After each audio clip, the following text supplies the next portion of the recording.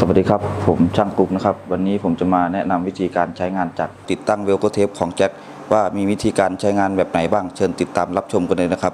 อุปกรณ์ภายนอกของตัวจักรนะครับ ก็จะมีชุดถาดวางเวลโกเทปนะครับ ก็จะอยู่ที่ด้านข้างของตัวจักรนะครับ ต่อมานะครับก็จะเป็นชุดกล่องควบคุมนะครับในการส่งหรือว่าการตัดเวลโกเทปนะครับ ส่วนที่ตัวจักรนะครับก็จะมีชุดแคมล็อกเวลโกเทปนะครับอยู่หนึ่งชุด นะครับบนล่าง ต่อมาก็จะเป็นโหมดควบคุมหัวจักรนะครับ ก็จะอยู่ที่หน้าจอด้านซ้ายมือนะครับ ต่อมาก็จะเป็นวิธีการใช้งานหน้าจอนะครับ ว่ามีวิธีการใช้งานแบบไหนบ้างนะครับ ตัวเลข 43 ตรงนี้นะครับ ก็จะเป็นการส่งเวลโกเทปนะครับ ว่าต้องการให้รีดออกมายาวแค่ไหนนะครับ ในการเย็บ ตอนนี้ก็จะเป็นการสั่งตัดอยู่ที่ความยาว 43 มิลนะครับ ในการตัดของ Velcro tape นะครับ รีดออกมาแล้วก็ตัดอยู่ที่ความยาวที่ 43มิลนะครับ ต่อมาก็จะเป็นความเร็วของลูกกลิ้งนะครับ ในการ feed Velcro tape ออกมาจากรางนะครับ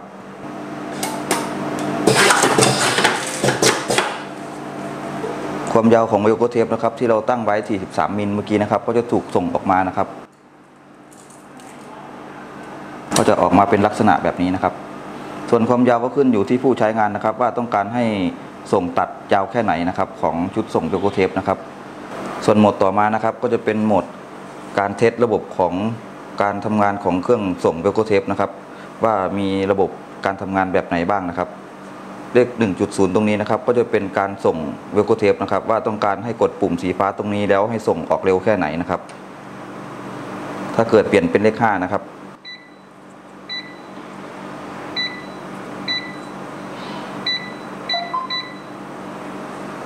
การส่งก็จะช้าลงนะครับ ในกรณีที่เราเปลี่ยนเป็นเลข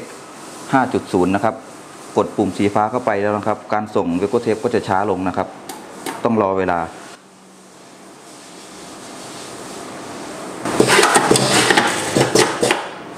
ครับผมก็จะจบวิธีการปรับตั้งการหน่วงเวลานะครับ ของปุ่มกดสีฟ้านะครับ ต่อมานะครับเราก็จะมาดูวิธีการ test ระบบการใช้งานของชุดส่ง Velcro tape นะครับ เลขหนึ่งนะครับก็จะเป็นการส่งชุด Velcro tape นะครับตัวนี้ก็จะเป็นการ test ทีละจุดนะครับกดเลขหนึ่งเข้าไปชุดส่ง Velcro tape ก็จะส่ง Velcro tape ออกเข้าไปในรางนะครับ เลขหนึ่งก็จะเป็นการ testระบบการส่งเวลโกเทปนะครับ ต่อมานะครับเลขสองก็จะเป็นการเทสระบบของใบมีดนะครับในการตัด ส่วนเลขสองนะครับก็จะเป็นการเทสใบมีดนะครับ ในการตัดนะครับ ก็จะขึ้นลงแบบนี้นะครับ ต่อมานะครับเลข 3 ก็จะเป็นชุดแขนหนีบวิโกเทปนะครับก็จะเป็นวิธีการเทสว่าชุดแขนหนีบวิโกเทปได้หนีบโดนวิโกเทปหรือเปล่านะครับ ส่วนเลข3นะครับก็จะเป็นการเทสชุดแขนหนีบวิโกเทปนะครับ ก็จะขึ้นลงในลักษณะแบบนี้นะครับ ต่อมานะครับเลขศูนย์ที่หน้าจอตรงนี้นะครับ ก็จะเป็นระบบการเทสการฟีดตัดนะครับ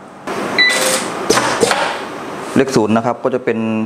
วิธีการกด test นะครับ การ feed ตัดนะครับ ตัวนี้ก็จะเป็นวิธีการ test อัตโนมัตินะครับ อยู่ในโหมดเลขศูนย์นะครับลูกกลิ้งก็จะทำงานนะครับ เพื่อ feed เอา Velcro tape ออกไป แล้วก็ใบมีดก็จะทำงานให้อัตโนมัตินะครับ ก็จะอยู่ที่เลขศูนย์นะครับ วิธีการ test ส่วนโหมดต่อมานะครับ ก็จะเป็นโหมดการส่งชุดแขนหนีบ Velcro tape นะครับว่าต้องการให้ชุดส่งแขนหนีบ Velcro tape นะครับ ส่งสั้นส่งยาวแค่ไหนนะครับ ก็จะอยู่ที่ 0.50s นะครับ ตรงนี้นะครับ ก็ขึ้นอยู่ที่ผู้ใช้งานต้องการให้ชุดส่งเวโกเทปนะครับ ส่งสั้นยาวแค่ไหนนะครับ โหมดที่ 2 นะครับ 0.50s นะครับ ตัวนี้ก็จะเป็นการหน่วงเวลาในการส่งเวโกเทปนะครับ ออกมาหาชุดแขนหนีบนะครับ ว่าต้องการให้ระยะเวลานานแค่ไหน หรือว่าส่งเร็วแค่ไหนนะครับ ก็จะอยู่ที่ตรงนี้นะครับ ก็จะเป็นการหน่วงเวลาชุดแขนหนีบเวลโกเทปตัวนี้นะครับ ชุดนี้นะครับ ว่าต้องการให้ไปแล้วก็กลับมา แล้วก็ลงหนีบเวลโกเทปเลยตอนไหนนะครับ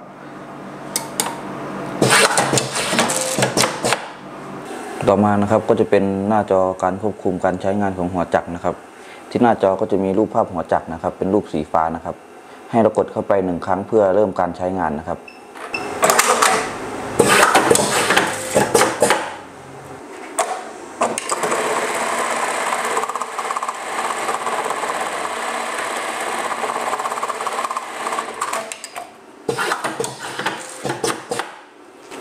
ก็จะเป็นการส่งอัตโนมัตินะครับ จะเป็นการส่งแล้วก็ตัดชุด Velcro tape ให้อัตโนมัติใน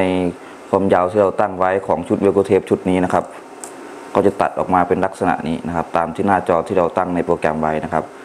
ก็จะสะดวกสบายในการใช้งานนะครับ ตัวนี้รุ่นนี้นะครับ จะเป็นการย่นเวลาทำงานนะครับ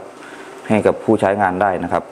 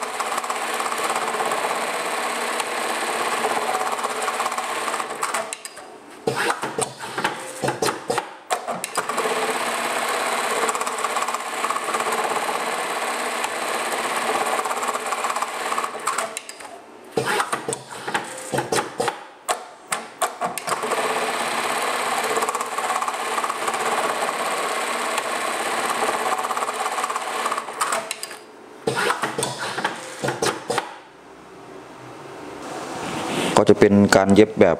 ส่งตัดของชุดยกเทปให้แบบอัตโนมัตินะครับ ตัวนี้ก็จะเพิ่มประสิทธิภาพในการทำงานนะครับ ช่วยประหยัดเวลานะครับในการทำงานของผู้ใช้งานนะครับ ก็จะจบวิธีการใช้งานจากเย็บเวลกเทปแบบอัตโนมัตินะครับของแจ็คแค่เพียงเท่านี้ขอบคุณครับ